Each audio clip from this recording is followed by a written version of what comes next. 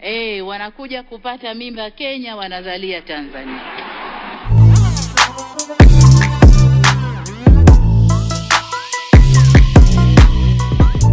Ukitaja listi ya ma DJ bora kwa upande wa wanawake, huwezi kuacha kumtaja DJ Feti ambaye kimsingi ni, ni mkongwe huyu, amefanya kazi muda mrefu sana pale Clouds, lakini pia yuko na ambisha zake nyingine.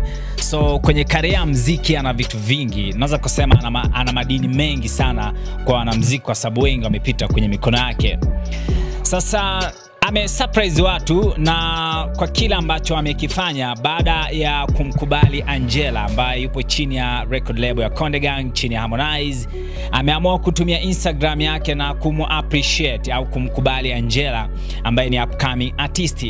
Ameandika, amempost kwanza picha yake, lakini pia ameandika you are beautiful sweetheart Angela, keep shining, keep your head up don't get distracted. Una uwezo mkubwa wa kuimba na utafikia ndoto zako ya jitihada na uwezo wa Mungu pekee. Afu kaweka hashtag tunapokosoa uumbaji wa Mungu tujaribu kuwaumba kwetu. Alafu pia akaongeza pale hashtag say no to cyber bullying. Afu akasema asante. Kibongobongo kumekuwa na vitu vingi sana vinapotokea. Unajua, msanii anapotokea watu wanadiscuss vitu vingi sana. Tunafahamu kwamba Angela na matatizo kidogo ya miguu, na ndio maana wakati mwingine anapata wakati mgumu, hasa kwenye video zake. So watu wamekuwa wakikosoa bwana mwonekano wa Angela and all stuff like that, lakini in fact kwamba Angela ni mdada mrembo, ni mzuri. Sema kibongobongo anakuwa na vitu vingi sana. That's why DJ Feti mkonge huyu ameamua kuliweka hili wazi kwamba sio poa sana kukosoa uumbaji wa Mungu kwa sababu Mungu mwenyewe ndio anayojua. Kuna watu wanazaliwa wazima, wanaweza kafanya kila kitu, lakini wanapata majeraha na wanapata ukilema, wana- wanakuwa vilema wakiwa watu wazima.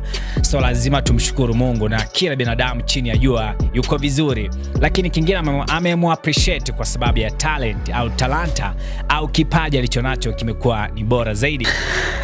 Kwenye maisha kuna wakati tunapita kwenye vitu vingi na binadamu hawa hawa ndio ambao wanatukwamisha. Wa- Sometime kuna maneno yanakudiscourage, unajisikia vibaya kama binadamu. Yani kuna watu wanajua kujaji mtu as if kama wao ndo wanajua kuumba na ndio ambao wanatengeneza uumbaji wa Mungu hauna makosa, na tunasema binadamu wote tuko sawa, na kuna vitu sometime kwenye macho unaweza ukaviona viko tofauti, lakini Mungu mwenyewe ana makusudi yake.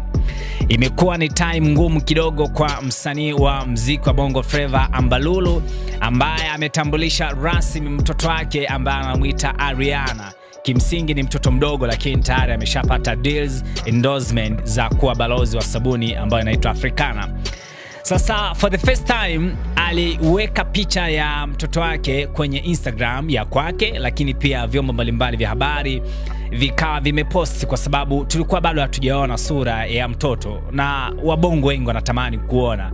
So baada ya kuona ile sura, watu wa comment zilikuwa mbaya, kimsingi zilikuwa negative ambazo hata mwenyewe unavyozitazama hapo, namna ambavyo walikuwa na mjaji na mtoto uh, si wenyewe tujisikia vibaya. Kwa nini watu wajaji namna hiyo? Kwa sababu duniani wote tuko sawa na mtoto ni mzuri, mtoto ni innocent, yani yeye akizaliwa ndivyo ndivyo alivyo, na binafsi mi sijaona ubaya.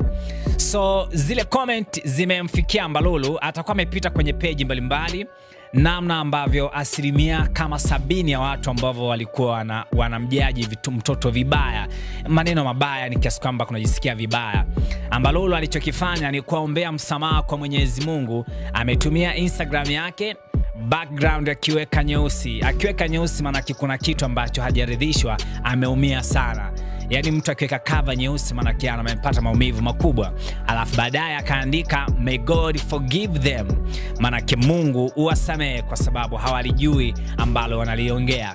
Ni maneno ambayo ya kutoka kwenye moyo wa Ambalulu, ambayo kimsingi amejisikia vibaya baada ya kuona comment negative kwa mtoto akimdhihaki kwa sababu ya sura yake and all stuff like that, kitu ambacho kimekosolewa na watu wengi, hasa kina mama. Una- Unazingatia saizi matatizo yamekuwa ni mengi sana uzazi.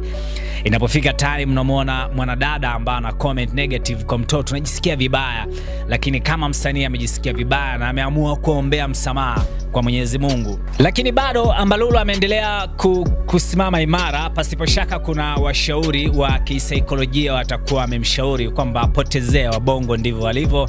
Ameendelea ku, uh, kumtangaza mtoto wake ambaye anaitwa Ariana. Kimsingi tayari kwenye Instagram kama ambavyo unaweza kuona ni balozi tayari ana, anapata deals, yani mtoto mdogo sana, lakini tayari anapata mkwanja ambao endorsements zimemwanzia akiwa mdogo, na hiyo ndo raha zaidi. Kwa akiwa mkubwa tayari anakuwa na uwezo wa kuwa na kitita cha kwake kizuri zaidi, na ameanza vizuri zaidi. Ameendelea kumpost mtoto wake na kumpa hizo deals, na tayari anaendelea kupata hizo hela za African Baby Soap ambaye ni official ambassador. Speaking about our president, our lovely mama, Mama Samia Suluhu Hassan ambayo yupo nchini Kenya, ziara yake ya kwanza official ya kiserikali yuko pale nchini Kenya. Of course for two days na tayari amesharudi Tanzania.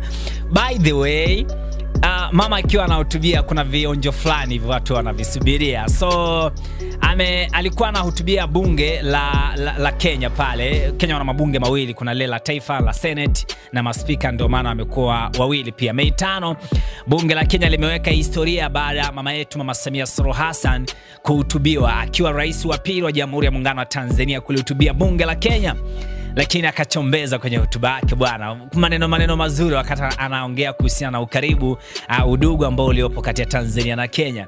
Akasema bwana, kuna wanyama bwana wanapata mimba Kenya, wanakuja kuzalia Tanzania, so tunawapa uraia wa aina gani?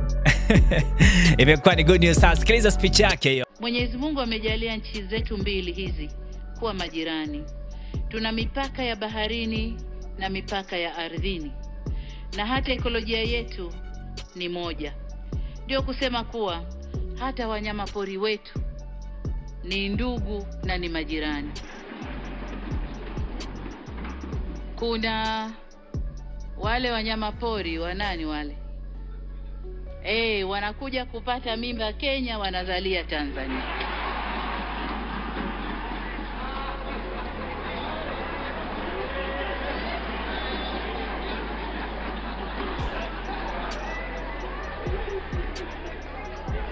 Sasa ingekuwa wanyama wana uraia, wangekuwa raia wa wapi?